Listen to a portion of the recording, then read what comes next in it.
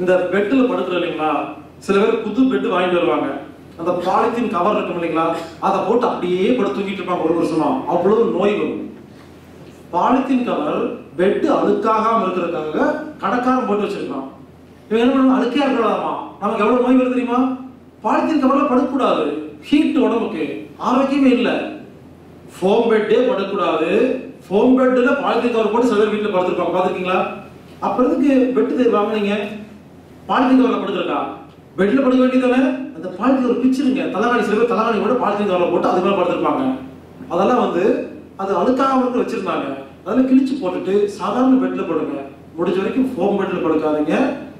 இலவம் பஞ்சு காட்டன் பஞ்சில் படுங்க. இல்லைன்னா பாயில படுங்க. இல்ல குல்ட்ரு சொல்லுவாங்க இல்லைங்களா? சின்னதா இருக்கும். ஒரு இன்ச்சு ரெண்டு இன்ச்சுக்கு குல்ட்ரு சொல்லுவாங்க. பெட்டுடைய சின்ன குல்ட்டு. அந்த குல்ட்டு போட்டு படுங்க. நல்லா தூக்கம் வரும்.